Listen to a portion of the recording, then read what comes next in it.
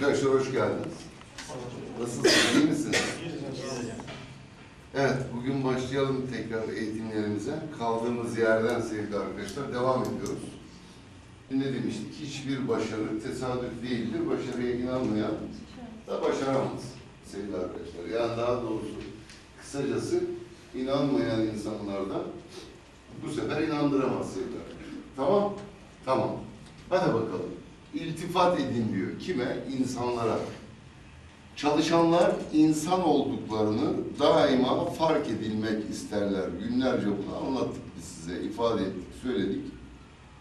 Çalışanlar da neticede insandır. İnsan psikolojisini iyi bilmenin önemini, önemine binaen günlerdir bunları anlatıyoruz ve ediyoruz sevgili arkadaşlar. İşte çalışanlar, hizmetliler, sekreterler, ne bileyim şoförler, bunlar da insan olduklarının önemini her an hissetmek isterler sevgili arkadaşlar. Onu ifade ediyor. İnsanlara iş yaptırabilmek sevgili arkadaşlar. İnsanlara iş yaptırabilmek bir sanattır. Başlı başına bir sanat. Yani öyle değil yani şunu yap, bunu yap değil. İçinden gelerek iş yaptırabilmek, severek iş yaptırabilmek, arzu ederek iş yaptırabilmek, seve seve iş yaptırabilmek o bir sanat sevgili arkadaşlar. Resmen bir sanat. Hani bir kaportacı düşünün, bir inşaatçı, efendim bir mü- mühendis düşünün. Ne düşünürseniz düşünün. Onlar hepsi bir sanat. Dünyada binlerce sanat var sevgili arkadaşlar.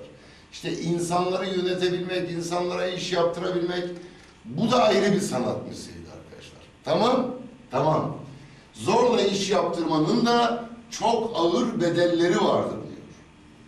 Bunun tepkisini, etkisini, bedelini de sevgili arkadaşlar zorla yaptırırsak bunu da görüyoruz. Görebiliriz daha doğrusu. İşi sevdirmek, arzu uyandırmak, iş yaptırmanın en uygun yoludur. Önce işi sevdireceksiniz. Zaten sevgili arkadaşlar bu insanların beklediği zaten iki şey var. Başka bir şey beklemiyor bu insanlar. Hepimiz da çalışanlar olarak. Ne bekliyoruz Bey? Bakın size söyleyeyim. Para mara falan değil. Biz para beklemeyiz millet olarak. Tabii ki bekleriz. Ama önce şunu bekleriz. İlgi ve sevgi. Bunun dışında biz hiçbir şey beklemeyiz sevgili arkadaşlar. Millet olarak öyle. Bize ilgili olunsun ve sevgili olunsun. Yani sevsinler bizi. Saysınlar bizi. İlgilerini üstümüzden eksik etmesinler. Ama bu ilgi ve sevgiyi şimdi siz biz açarsak sevgili arkadaşlar bir haftalık konu çıkar buradan. Yani ilgi sevgi o kadar da değil. İlgi ve sevgi doğru ama bu çok büyük bir derstir sevgili arkadaşlar. Ama çok da bunu uzun tutmamak lazım. E zaten bunun derinliklerine inebilirsiniz. Yani Türk milleti, Türk işçisi, Türk efendim hizmetçisi, çalışanı, personeli iki şey bekler. İlgi ve sevgi. Parada, kazançta, büyük paralarda hep bu ilgi ve sevginin altında yer yat, altında yatıyor zaten sevgili arkadaşlar. Tamam? Tamam. Takdir edilme arzusu, tatmin edilen kişiye istediğiniz işi yaptırabilirsiniz sevgili arkadaşlar. Evet, devam edelim. Önemli kişi olma arzusunu sevgili arkadaşlar tatmin edin. Her insanda derece derece önemli olma arzusu vardır. Her insanın yapısında, içinde bu vardır sevgili arkadaşlar. Önemli olma arzusu. Evde önemli olma arzusu. İşte önemli olma arzusu. Kurumda önemli olma arzusu kendisinin. Bunu kim istemez? Önemli olma arzusu, pardon, bu uğur, uğurda kötü örnekler bile tercih sebebi olabilir. Önemli olma arzusu, insanları farklı tatmin yollarına sevk eder. Önemli olma arzusunun tatmini için insanlar akıllarını bile kaybedebilir sevgili arkadaşlar. İnsanlar bu kadar isterik. Önemli olma arzusuyla ilgili sevgili arkadaşlar. Tenkit yerine takdir ve iltifat kullanarak insanlar daha fazla gayrete getirilebilir sevgili arkadaşlar. Bakın ne diyor? Tenkit yerine takdir Değil mi? İltifat kullanarak insanlar diyor daha fazla gayrete getirilebilirler diyor sevgili arkadaşlar. Marifet çünkü iltifata bağlıdır veya tabidir. Marifet iltifata tabidir. Bu kadar açık. Başarıya inanmak ve başarıyı engelleyen mazeretleri yenmek sevgili arkadaşlar. Başarı. Başarı kişisel refah, güzel bir ev, tatiller, seyahat yani yeni şeyler, maddi güvence, çocuklara her şeyin en iyisini sağlamak demektir. Takdir edilmek, liderlik, iş ve sosyal hayattaki insanlar tarafından sayılmak, özgür olmak, kişisel saygı, gerçek mutluluk, hayatı size bağlı olanlar için daha çok şey yapmak demektir sevgili arkadaşlar. Başarı bir daha hızlı geçeceğim şimdi. Kişisel refah, takdir edilmek, liderlik, iş ve sosyal hayattaki insanlar tarafından sayılmak, özgür olmak, kişisel saygı, gerçek mutluluk, hayatı size bağlı olanlar için daha çok şey yapmak demektir sevgili arkadaşlar. Tabi başarıyı çok farklı farklı yönde yorumlayabilirsiniz. Tarifinde yapabilirsiniz sevgili arkadaşlar. Ama ticarette bu böyle. Bunları herkes arzu eder. Doğru? Doğru. Kim arzu etmiyor? Ancak nasıl bir dağa, karşıki dağa, dağ yerinden oyna demekle dağın yerinden oynay, oynayacağına inanmak saçma bir şey ise sadece arzu etmekle de başarı elde edilmesi o kadar saçmadır. Bir tek arzu yetmiyor sevgili. Tabii ki arzu da önemli. Onu da söyledim zaten. Arzularınızı frenlemeyin, yükselişinizi durdurursunuz. Hayatınızın her bölümünde, her biriminde eşine karşı, işine karşı, çocuğuna karşı, arabana karşı, her şeyine karşı, hayata karşı, değerlere karşı. Başarmak önce inanmak demektir. Kesinlikle yapabileceğimden eminim tavrı yapmak için gerekli olan güç, enerji ve beceriyi üretir beyinde.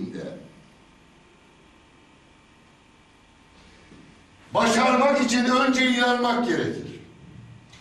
Kesinlikle yapabileceğim, eminim tavrı, bu tavır, bu tutum, bu kararlılık yapmak için gerekli olan güç, enerji ve beceriyi üretir sevgili arkadaşlar insanlar. Bunu yapabilirime inandığımızda bunu nasıl yapabilirim beyinde gelişmeye başlar. Doğru? Ya. Evet sevgili arkadaşlar.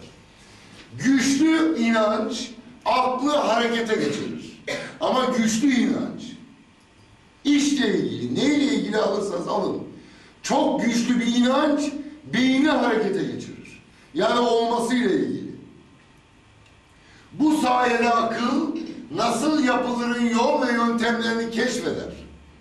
Bir takım insanlarda güç, güçlü inanç olmasaydı, bir takım iş adamlarında veya insanlarda güçlü inanç olmasaydı, yani zayıf inanç olsaydı, insanın uzayda seyahat edebilmesi için yapılan ilmi çalışmalar devam etmezdi. Olur mu öyle şey? Kansere karşı tedavi yöntemleri geliştirilemezdi. Kesin çözüm için araştırmalar devam etmezdi. Çok kıymetli sanat eserlerin meydana da gelmezdi. Bizleri şaşkınlığa uğratan ilmi keşifler de yapılamazdı. Birçok başarılı organizasyonlar bunları da gerçekleştiremez, ger gerçekleştirilemezdi. Hep bunlar güçlü inancın eseri sevgili arkadaşlar. Sonuç olarak bir şeyin yapılıp yapılmayacağını, sorumlu insanların bunun yapabileceğine inanıp inanmamalarına bağlıdır. Başarıya inanmak, başarılı insanlarda bulunan tek, temel ve mutlak özelliktir sevgili. Tamam. Başarıya inanmak ne diyor? başarılı insanlarda bulunan tek, temel ve mutlak özelliktir sevgili arkadaşlar. Evet.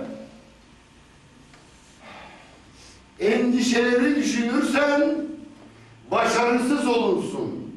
Zaferi düşünürsen başarılı olursun. Hani söz daha var ya sevgili arkadaşlar. Düşünürsün, düşünürsün, boşa gider.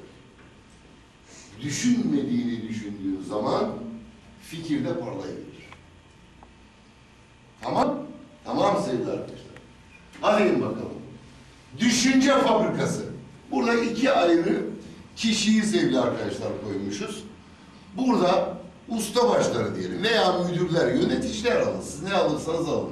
Görevleri ve uzmanlık alanları sevgili arkadaşlar. Bir tanesi Bay Zafer, bir tanesi Bay Yenilgi. Şimdi Bay Zafer'i size tarif ediyorum. Olumlu düşünce üretmekten sorumludur. Daima. Hep olumlu. Sizin neden neden yapabileceğinizi, neden usta olduğunuz veya neden yapaca, yapacağınız gibi sorulara cevap üretmede uzam, uzmanlaşmıştır. Bay Yenilgi, olumsuz küsü- küçümseyici düşünceleri üretir. Neden yapamayacağınız, neden yetersiz olduğunuz konusunda sebepler geliştirmede uzmandır. Uzmanlık alanı neden başarısız olacaksınız konusundaki düşünceler zinciridir. Özellikleri her ikisi de itaatkardır. Söz dinlerler. Her ikisi de. Kendilerine ilgi gösterdiğinizde hemen de kaparlar. İlgiyi de çok severler. İkisinden birini harekete geçirmek için en küçük bir zihinsel koş yakala işareti bunlar için yeterlidir. Nasıl harekete geçirilir? Bay Zafer şöyle geçirilir. Olumlu ifadeler ile mesela bugün çok güzel bir gün. Hemen harekete geçer. Bay Yenilgi olumsuz ifadeler mesela bugün berbat bir gün. Sabahleyin bir arkadaşla meselede yazışıyoruz. Bugün çok berbat bir sabah. Allah canını almasın. Senin zaten bugün hep berbat geçer zaten. Olur mu öyle şey? O kafadan teslim olmuş. Evet. Sonuç olarak iki usta başından hangisine daha çok iş verirseniz o daha güçlü arkadaşlar. Bay Yenilgi'ye daha çok iş verilirse işe yeni elemanlar alır ve zihninizde daha çok yer kaplar. Sonuçta düşünce üretim biriminin tamamını kontrol altına alacak ve pratikte düşüncelerinizin tümü olumsuz bir niteliğe sahip olacaktır sevgili arkadaşlar. Akıllıca yapılması gereken şey bay yenilgiyi def etmektir, reddetmektir veya kovmaktır. Bay Zafer'i tanımanın yüzde yüzünde kullanın. Zamanınızın yüzde yüzünde kullanın. Kimi? Bay Zafer'i. Zihninizde yeni bir düşünce geldiğinde Bay Zafer'e işbaşı yapmasını söyleyin. Size nasıl başarılı olacağınızı o söyleyecektir. O tarif edecektir sevgili arkadaşlar.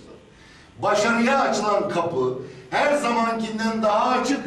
İçeri girin, Adınızı hemen şimdi hayattan istediğinizi alan seçilmiş insanlar grubuna dahil etmek üzere kayıt listesine de yazın diyor veya yazdırın sevgili arkadaşlar.